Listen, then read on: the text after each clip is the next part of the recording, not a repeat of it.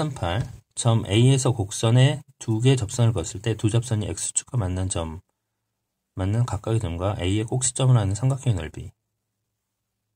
음? 음. 곡선에 두 개의 접선을 그었다. 라고 한다면 어떻게 볼까? 일단 접선의, 방, 접선의 기울기를 구해야 되니까 미분계수 EX를 구해놓고요.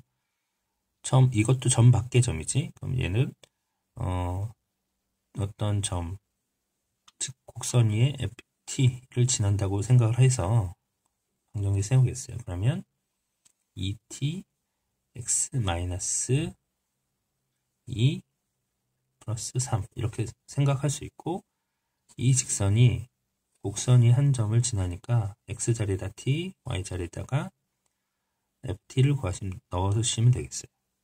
그죠? 그럼 대입을 하면 2t, t-2 플러스 3 t의 제곱 이렇게 구합니다.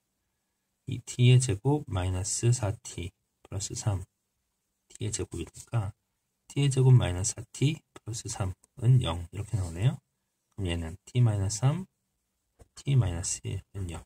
t는 1, 2나 3 두 개가 나온다.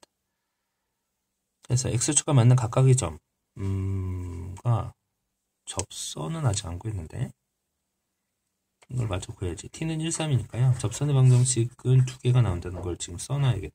y는 어, 2x 마이너스 4 플러스 3이니까 2x 마이너스 1 요 하나랑 3을 넣어서 얘는 6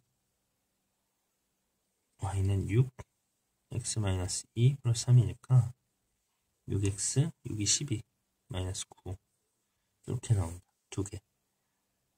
x축가 만나는 점은 x절편이죠. 그래서 얘는 2분의 1 하고 얘는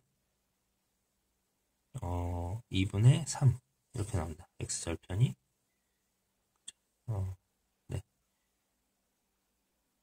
그러면 삼각형의 넓이는 어떻게 그럼 2분의 1 2분의 3 높이는 3 이렇게 해서 하시면 되겠네요. 그럼 얘는 1 높이는 3 2분의 3 이렇게 된다.